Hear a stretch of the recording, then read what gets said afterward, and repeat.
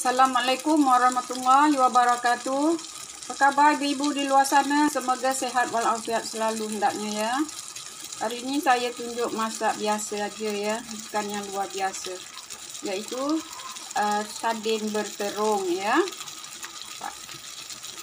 Jumpa saya di video-video akan datang. Assalamualaikum warahmatullahi wabarakatuh.